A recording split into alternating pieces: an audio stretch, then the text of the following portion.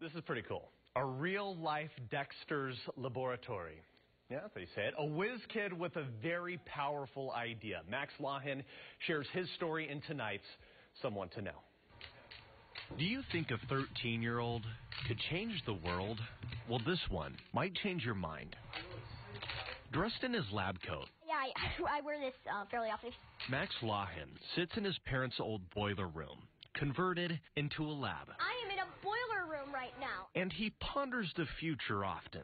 The future that I imagine is the future, frankly, that we all imagine. He wants to make the world a better place, and to do that, you need one single thing. If you got energy, you got power, you have everything.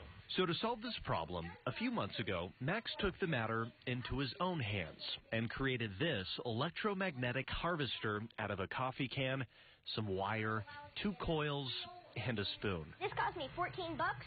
The harvester conducts radio waves, thermal, and static energy and turns it into electricity. This wire takes the energy from the air. Down below here, we turn it from AC into DC. So we take the device outside and wrap up Max's brother into a string of LED lights.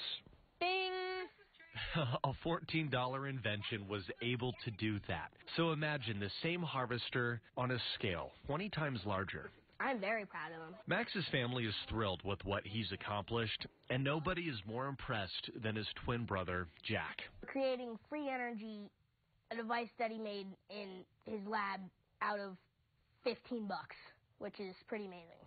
As cheesy as this sounds, from day one on this planet, I knew that I was put on here for a reason, and that reason is to invent, to bring the future. Max has always admired Albert Einstein and inventor Nikola Tesla. They taught him a little bit more than just science.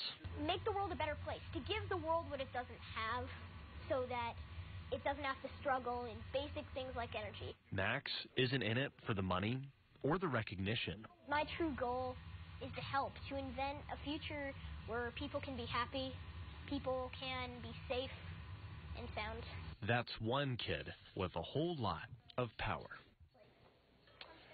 And believe it or not, Max is already taking online college courses from MIT where he hopes to attend full time in a few more years.